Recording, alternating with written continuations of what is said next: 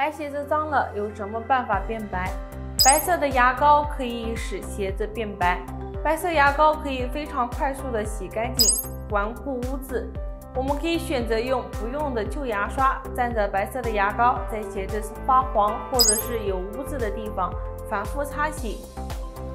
然后我们用清水清洗干净，再用白色的卫生纸把鞋子整个包裹起来。放在外面晒一晒太阳，吹一吹风就可以了。